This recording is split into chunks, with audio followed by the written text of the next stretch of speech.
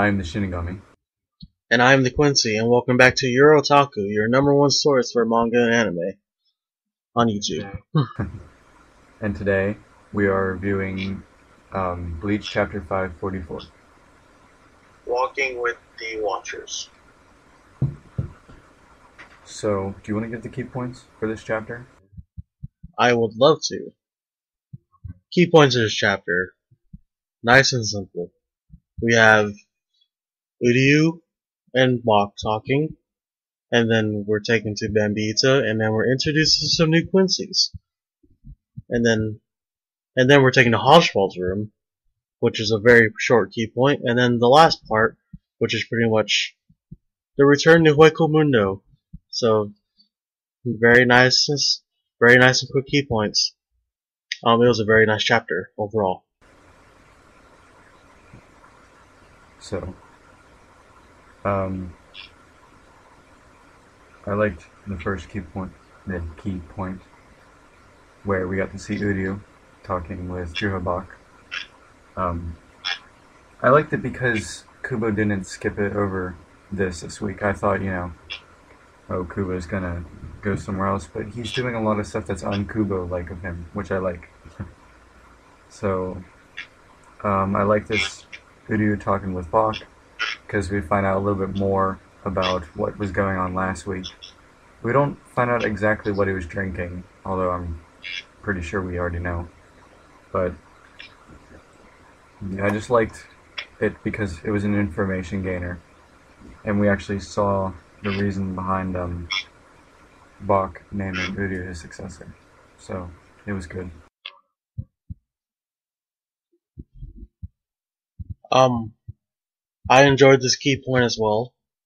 Like you said, it's very un-Kubo-like. It's more Oda-like if you want to think of it like that. Uh, and yeah, we got to find out the reason why Udi was named the successor. And the reason being was when Juha did the technique that killed all the uh, half-blood Quincy's, like Udi's mother, Udi lived. And according to Juha Bach, that uh, he stated that Uryu had something that that can make Uryu surpass himself. So it's nice to see Kubo giving Uryu the attention that he he you know so long deserved in, in the series. He's getting a power up. We can see that happening already. He's gonna get a power up. Uh, and but yeah, I mean, it was a it was a really good part, and I really didn't expect Kubo to continue with the Quincy stuff. Like you know, like I said, I figured he'd go back to the you know the Soul Palace or something. But no, we're with the Quincy's again. So you know, thank you, Kubo. Um, another thing, um, the part about Uryu surviving, I think that that has to do with him being Ryuken's son. Because if Ryuken is as strong as everyone predicts him to be, then a lot of his power must have carried on to Uryu. He just has, he just doesn't know it yet. I know the whole thing about if you're a mixed blood, you're not as strong as a pure blood. Maybe, maybe Ryuken's blood, like, it did something different to Uryu, that it didn't, it didn't degrade his power, or it didn't downgrade the power Ryuken passed on to his son. You know what I'm saying, guys? Uryu just has to unlock that power and he'll be strong.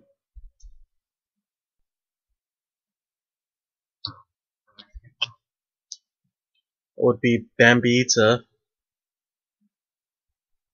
and the new Quincy's. Should I go first? Well, we're we're taking the to Bambietta, and she's pretty much demanding a foot soldier to go to her room because she wants to quote unquote do it. Um, the foot soldier seems very pleased about this, and then the very next panel we see him being split in half. So, you know, at first I was like, is Pizza a slut? Do we finally have like our first official slut of Bleach? No, I think she, I think she was more using her sex appeal to draw in the draw in the man and then kill him. Kind of like a Black Widow, if you want to call it like that, but without having sex or intercourse or giving birth to like thousands of babies, nothing like that. But she drew him in and then she killed him. And to me, it seems like her she's able to form like reishi discs and she's able to like launch him to cut people in half kind of like krillin you know from dragon ball z his destructo disc kind of like that the same kind of like the same thing you know because oh it was a clean cut it, it i know we saw her use a sword but it feels like she has something like something more than a, just a sword I feel like you know, a, like a disc or something would probably be her Quincy power. But yeah, you know, it, it was nice. I guess it, it wasn't as nice as you know the Uryu stuff, but it, it, was still you know it was still a good part of the chapter. Um, then we get to introduce some new Quincy's. I don't remember their names. You, I know you have their names, but two of the Quincy's um, they, they look kind of familiar. I mean, one Quincy looks like Orihime, the other Quincy looks like Rangiku. I know it's Kubo recycling faces, but come on. The hair and the postures are the same. Like, the one that looks like Rangiku is, is bent over with her hand on her, on her, on her knee, I think. And the one that looks like Orihime is standing straight up like how she stands when each goes around. So again, it was nice that we're seeing new Quincy's. And I'm done with that. Um, I like this part. Like at first, whenever I first saw Bambietta, I didn't really like her. Um, for a few reasons. But I thought she was going to turn out to be like a Yachiru or Hiyori type character. You know, the young girl who um, comes in and she like beats everybody up and nobody suspects it. That's not what I didn't like about her. I just didn't like her character in a way. But she looked basically she looked really childish back then. But then we see her in this chapter and then she has that quote unquote let's do it thing. Which I thought was both funny and interesting that Kubo would do that. But um we also keep in mind that I don't think she did anything with that guy. I think she just walked into the room, unbuttoned her shirt a little bit, got him to come closer, then killed him. But considering it's a shonen manga, you can't show that much. So for all we know, that could be the afterwards. But you know, who knows? We'll never know. But um, it shows that she pretty much doesn't care, and you had pretty much the perfect phrasing for it. She's like a black widow. She lures them in, and then kills them. She's like an evil seductress. Um, and something about her just she just looked more womanly this chapter instead of like a uh, girl she looked more like a young woman um, but now i'm starting to fanboy over her. And am i the only one who noticed her bust? She went from looking like almost flat chested to now she looks like she has double d's. Sorry this is my pervertedness coming out. The shinigami is more perverted. Anyway. Anyway i'm getting off topic. So she cuts that male guy in half, and then we see the four other Vandenreich Sternritter members. We see uh, McAllon, who is a P Sternritter, Sternritter P. She's the one who looks like Orihime. We see Liltotto Lamperd, Sternritter G. She looks like she's probably uh, 10 years old or maybe even younger. But she's evil. She just she calls Bambietta a bitch right away. We see Sternritter Z, uh, Giselle Gewelle, who kind of looks like um, a younger version of that one Division Zero member. She kind of looks like a younger version of her. And we see Sternritter T, Candice Catnipp, who looks like, um, kind of looks like Rangiku. But they all have the same mannerisms and everything. So I like, um, I know a lot of people complain about uh, universe having way too many characters, but I really like, I like characters. I just like seeing new faces. So I'm glad Kubo is introducing us to quite a few new faces. So I like this part. Um, one thing to add to the Bambietta part you said about her being like childish in a way, you know. If you go back to the purge of Soul Society, when she was fighting a uh, Komamura, she called him a doggy. Children call dogs doggy. And in, you know, this chapter, she was sadistic, pretty much. So, maybe she has like a split personality. Maybe she's bipolar. Maybe she's bipolar. Who knows? Uh, and then there's only one final key point, isn't there? Oh wait, no, no. Oh, there's the Haschwald, and then the what the window part. Yeah, that's right. So I'll go first on the Haschwald part. So we see Haschwald returning to his room, and in there is this woman with creepy black eyes. At first I thought it was just how close the lines were together, but then she had like wide eyes and they were just pure black, so I don't know what's going on with her. But they were just discussing recent events, you know, with Uryu and Juha Bach and what Haschwald thought. Okay, so as I was saying, um, Haschwald was talking to this girl about the recent events. She asked him if he was upset, and he said not really. He just recognized that Juha Bach was trying to get discord among his men so that they'd be focused on Uryu and a few other things I don't really remember fully. But it, this shows um, character development in Haschwald. We learn more about him. We learn that he's very smart, very intuitive. Uh, he can see through things pretty easily. He's and he's pretty level-headed. He's kind of so yeah. That's all about what I think of that part. So what do you think, Quincy? Well, it was a very uh, you know short part, interesting. Um, interesting to the chapter. Me personally, I didn't like it that much. But you know, we got we got to know more about Haschwald's character. Uh, Mr. Calm guy, pretty much. Yeah. Goes along with anything Juha Bach says. So yeah, not really much this that part. Okay. And the final part, where we go back to Hueco Mundo. Do you want to go first, or do you want me to go first? Uh, I'll I'll go first. Okay.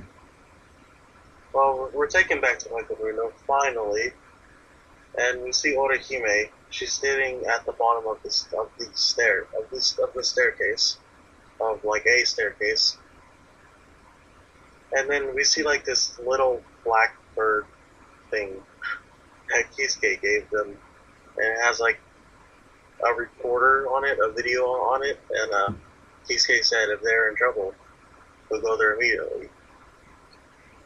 Um, Orihime then begins to talk about Sado and this potato-like thing that they're eating. And the Shinigami pointed this out, but that is a Shingeki no Kyojin reference. A very small one, but it's a reference. Um, and then behind Orihime on the top of the staircase, we see Sado, and Sado says, Orihime, you're late. And then she turns around, Sado says, everyone's here. And behind Sado, we can I, we can assume that that's Grimmjow's lake. And by everyone, I think the remaining Espada and the remaining Arrancar. have gathered together. I believe that they just rescued Harribel. Yeah. But yeah, I, I, I like this part. And then, of course, the last couple of battles, we see Kisuke working on the Quincy pennant, and we can see like the pennant's almost faded out. Like the cross that was there, it's like no more. Uh, I like this part because you know Shingeki no Kyojin reference, and that we finally got to see other people again. You know, we get to see Chad and Orihime, and Urahara, and who we can assume is probably Grimmjow. But yeah, like the Quincy said, um, the way uh, Sado said everyone is here. You don't say everyone's here if it's just you and some other guy. I mean, whenever I think of everyone, I think of a group of people, and a group of people is usually, you know, between three to six to lots of people. So we're going to be getting quite a few people. Just because we saw one leg doesn't mean there aren't other legs behind them. So it gives me hope, and I'm really excited for the following week's chapters. Anything else for that part? Um, just want to add a little prediction Okay. to the end of this. Um, if you know Sado's a Fullbringer, and his powers are hollow based, so what if Grimmjow ends up training Sado, and Sado uh, like fully masters his Fullbring, and you know giving Sado a power boost, which he needs Mhm. because Sado needs a good fight, and he's going to get one in in this war. Yeah. I want to see a full uh, a full body Fullbring from Sado.